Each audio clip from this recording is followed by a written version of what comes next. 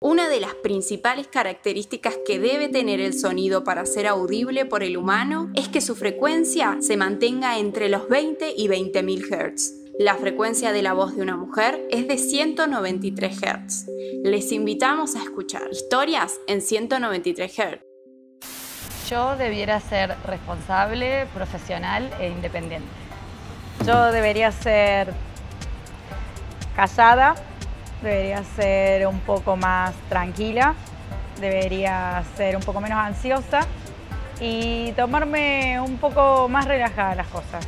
Debería ser una mujer atenta, una mujer eh, profesional, con buena predisposición, eh, siempre atenta a todo lo que sucede, eh,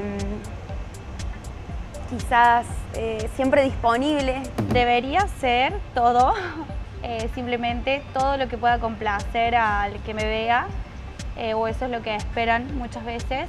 Bueno, por ahí me persiguen mucho diciendo que yo ya debería estar casada, con hijos, y estar haciendo cosas tranquilas y no trabajando en la noche. Pero bueno, yo lo que amo, así que lo que vengan y me persigan mis amigos o, familiares, eh, no me importa. Les mando un beso. Debería ser paciente, obediente, tranquila. Estar espléndida, súper maquillada, súper producida, que vos te tenías que vender, porque bueno, vos eras también como el producto, te tenías que vender. Soy eh, polifacética musicalmente, me gustan muchos géneros. Siempre me gustó la libertad, no solo, si bien lo dije en la música, en, mi vida para animarme a hacer todo lo que me gusta y a poder ejercer todo lo que mm, eh, me llena el alma. Soy un puente entre la comunicación y la música y mi mayor talento es relacionarme con talentos. Me gustaría ser un ejemplo de, como dije, de animarse. No sé si un ejemplo en su totalidad porque es como muy fuerte, pero el de animarse a hacer. Creo que hay algo que siempre me dijo mi madre y es que siempre soy atrevida. Y soy mis propias marcas, y soy mi propio producto. Soy DJ, eh, aspiro a ser productora, estoy en un proceso de aprendizaje.